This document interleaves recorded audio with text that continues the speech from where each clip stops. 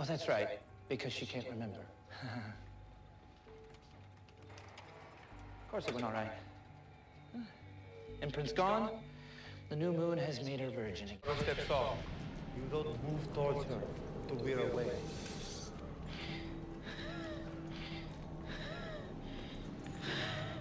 Whoa, whoa, whoa, whoa, whoa. Hey, Boyd, what's going on? We're good so far? No, no, no, no. Echo's not good. Something's not good, and Echo knows it. That's where I'm going with this. Uh, the persona we developed? A Bunch of different people. Yeah, and one of them was abused by the guy she ran into. I know.